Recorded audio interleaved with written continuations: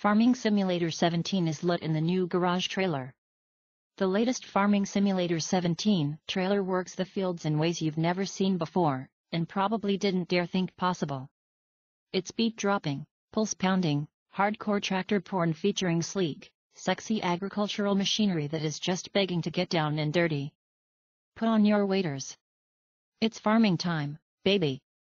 Okay, sleek may not be the best descriptor for these field crawling beasts, most of which are basically small houses mounted on big tires. But I love the way the trailer shows off important stats as though they were the latest in Italian sports cars at the Detroit Auto Show. Massey Ferguson MF Delta 9380, 496 horsepower. 1000 liter fuel capacity. 30 kilometers per hour top speed. That's right performance, right there.